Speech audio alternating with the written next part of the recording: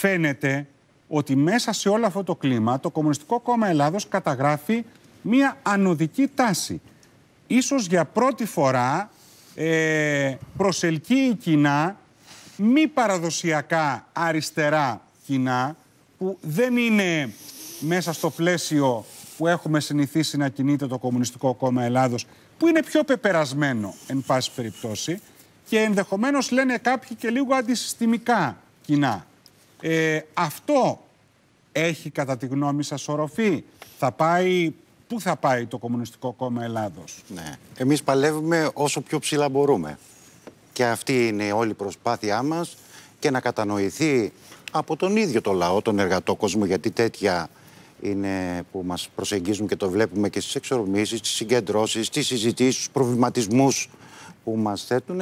Ε, προσπαθούμε να γίνει κριτήριο της τάσης Σας του. διακόπτω. Και της... Αυτός ο εργατόκοσμος που λέτε, το σημειώνω, γιατί εσείς καλά κάνετε και το λέτε, αλλά θυμίζω ότι τα δυτικά προάστια, ε, ο Ασπρόπυργος, η Ελευσίνα, η Δραπετσόνα, Η κοινά- Δυτική ε, Αττική έβγαλε τρίτο κόμμα το Κουκουέ. Ναι, και τη Νέα Δημοκρατία με εκρηκτικό ποσοστό Αυτό- προς τα πάνω. αυτό Θέλω δεν να είναι- πω δηλαδή, Αυτό είναι ένα κριτήριο. αυτός είναι ο εργατόκοσμος, είναι αλλά ένα προτίμησε κριτήριο. τη Νέα Δημοκρατία. Αυτός είναι ο εργατόκοσμος που αύριο, αυτή είναι η προσπάθεια και γίνεται πάντα η προσπάθεια στην πολιτική, αυτό είναι η πολιτική, θα πιστεί να βάλει κριτήριο τη ζωή του, τα πεπραγμένα όλων των κομμάτων το προηγούμενο διάστημα και να σταθεί και να αποφασίσει τι είναι τελικά πιο αποτελεσματικό Επειδή για όμως αυτόν. έχουμε ευρωεκλογές, κύριε Τασιούλα, θα πει κάποιος.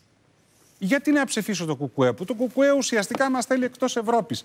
Ποιος ο λόγος να ψηφίσω έναν, τον, τον κύριο Τασιούλα, ας πούμε. Αυτός τον είναι ο υποψήφιο βασικός λόγος, Ευρωβουλευτή. αλλά θα το πω κάπως αλλιώς. Ναι. Αν δεν ήταν το Κουκουέ, ακόμα θα μιλάγαμε, όπως το 1980, ότι η Ευρώπη, η Ευρωπαϊκή Ένωση, είναι εκείνος ο μηχανισμός, εκείνη η ένωση που οι λαοί θα φάνε με χρυσά κουτάλια.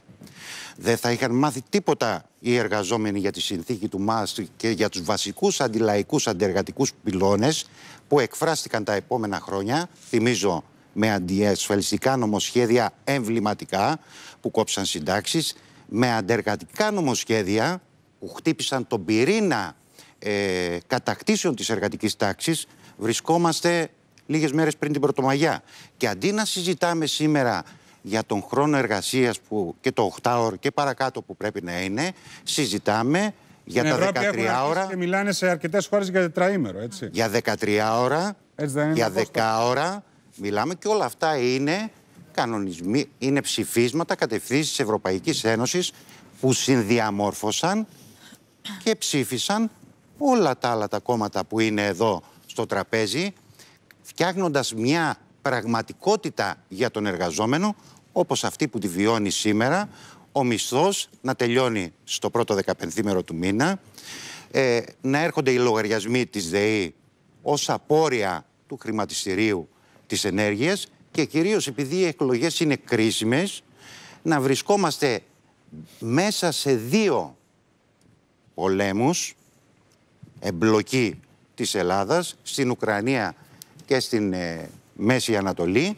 και να σηκώνεται μία συζήτηση, γιατί έχω παρακολουθήσει και άλλες συζητήσεις σε προεκλογικά πάνελ και ένας καυγάς για τις κολυμπήθρες, ε, για άλλα θέματα, για να κρυφτεί μια Ε, καλά, και ο, σχεδόν Κουτσ- και ο τέλει- Κουτσούμπας είδε σφυροδρέπανο Και- στην κολυμπήθρα. Τώρα Δεν νομίζω. Ναι. Δεν νομίζω, δεν νομίζω. Έτσι το αν, είπε, ήταν, αν, ήταν, αστειεύομαι. αν, ήταν, αν ήταν έτσι, θα εγώ ήταν είπα πολύ ότι εύκολα και εγώ είδα. τα πράγματα. Είχα τέτοια εμπειρία. Είδα Έτσι θα πούμε όλοι τα θαύματά μας. Το τρισφύλι του Παναθηναϊκού είδα εγώ.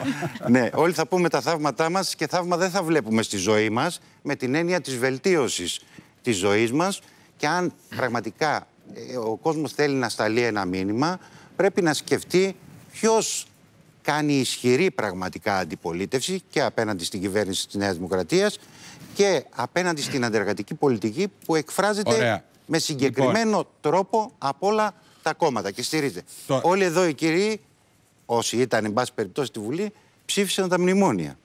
Δεν υπάρχει κανένας.